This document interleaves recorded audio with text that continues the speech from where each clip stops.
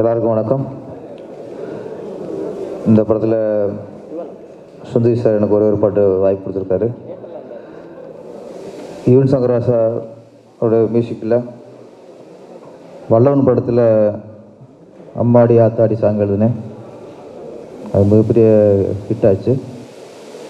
அதுக்கப்புறம் இந்த படத்தில் இருக்கேன் நீங்கள் பார்த்தீங்க தியாகி பாயஸ்.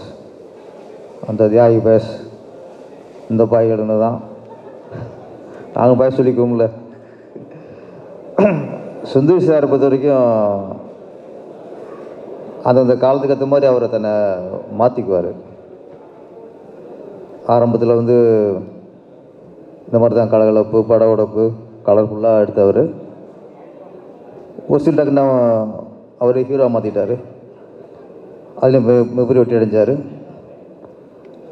இப்போ அதுக்கப்புறம் திரும்ப இப்போ சுந்தரி சார்னாலே கலர்ஃபுல் வித்து கலகலப்பு. ஆமாம்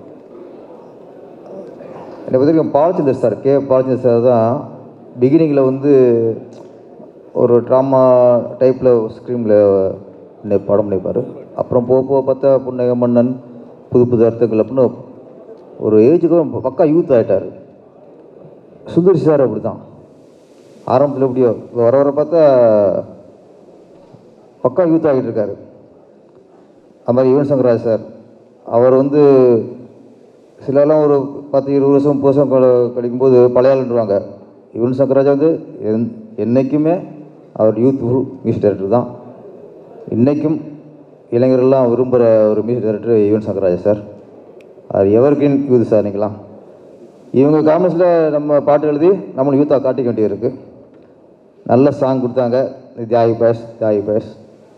இந்த பாட்டும் ஹிட் ஆகணும் எல்லா பாடலும் ஹிட் ஆகணும் இந்த படம் மிகப்பெரிய ஹிட் ஆகி இந்த படத்தில் ஒர்க் பண்ண டெக்னீஷியனும் சரி நடிகர்களும் சரி நல்ல பேரும் போலும் வரணும். தேங்க்யூ சார் மனமார்ந்த நன்றி.